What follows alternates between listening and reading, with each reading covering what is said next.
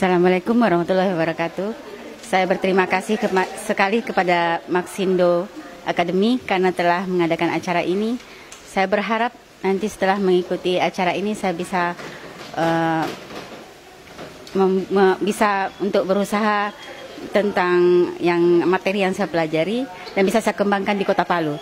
Saya Yan Mulyati, peserta berasal dari Kota Palu, karena di Palu banyak ikan, insya Allah nanti bisa berkembang. Uh, terima kasih juga kepada uh, Ibu Yuyun sebagai pembimbing kami dan teman-teman dari PT Maxindo yang telah mengadakan acara ini. Maxindo, mesin pengusaha sukses.